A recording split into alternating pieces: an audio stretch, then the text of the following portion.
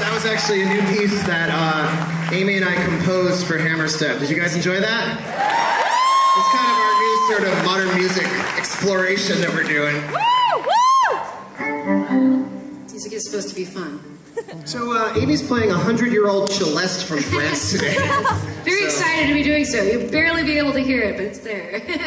uh, we're gonna do a song.